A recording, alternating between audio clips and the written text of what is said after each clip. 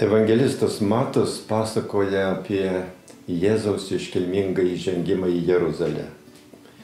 Jėzus žino, kas jo laukia Jeruzalėje ir samoningai eina į kančią ir mirtį.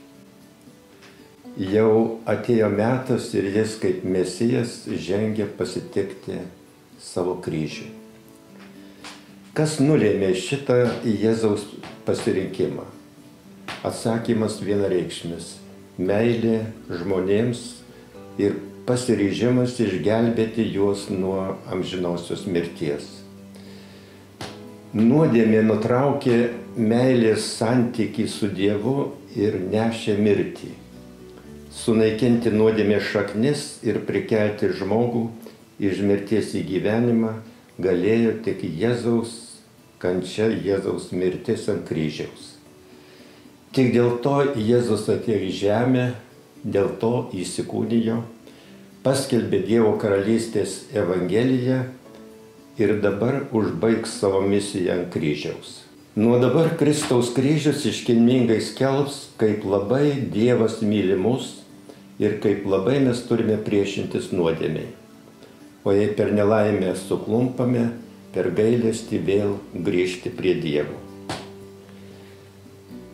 Verbų sekmadienio mišiose Evangelija pasakoja apie Jėzaus kančią nuo judo išdavystės iki mirties ant kryžiaus. Mes esam kviečiami išgyventi dvasia tai, ką Jėzus realiai išgyveno nuo Alyvų kalno iki Golgotos. Šiomis dienomis pasiekti paskui kenčiantį Jėzų tikriausiai bus lengviau, nors ir negalėsim dalyvauti nei verbų sekmadienio, nei didžiojo penktadienio liturgijoje. Koronaviruso epidemija sustabdė mus nuo bėgimo ir įsivaizdavimo, jog esame beveik kaip dievai. Staiga, staiga pajutome, jog esame labai trapus, beveik bejėgiai ir dar kartą suvokėme, jog reikia glaustis prie to, kurio rankose yra mirtis ir gyvenimas.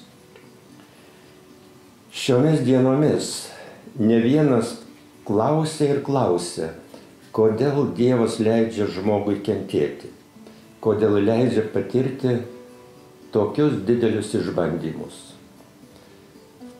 Atsistokime prieš Jėzaus kryžių ir užduokime klausimą tam, kuris kenčia ir miršta už mus.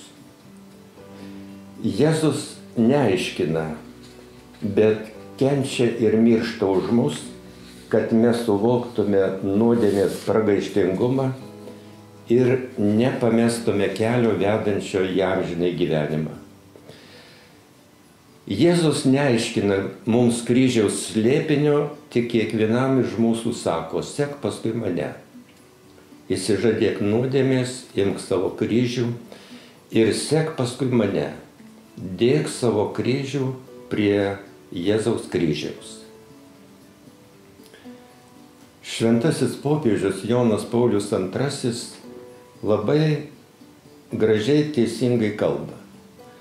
Žmogui paėmusiam savo kryžių ir dvasiškai susivienijusiam su Kristaus kryžiumi palaipsniui atsiskleidžia išganingoji kentėjimo prasme. Jis randa šią prasme ne savo žmogaus, bet Kristaus kančioje.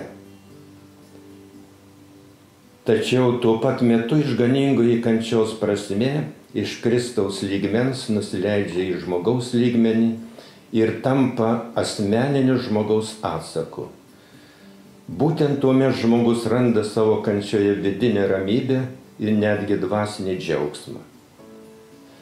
Apaštalas Paulius apie tą dvasinį džiaugsmą labai gražiai kalba laiške kolosiečiams.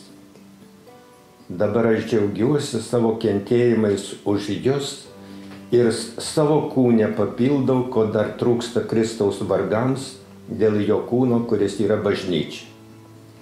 Apaštalas gerai suprato, kad tik kantriai pakeldamas savo kentėjimus ir juos dėdamas prie Jėzaus kryžiaus, jis labiausiai susivienys su Jėzumi. Šiuo sunkiu Lietuvai ir visam pasauliu laikotarpiu nedėjuokime, bet elkimės kaip apaštalas Paulius.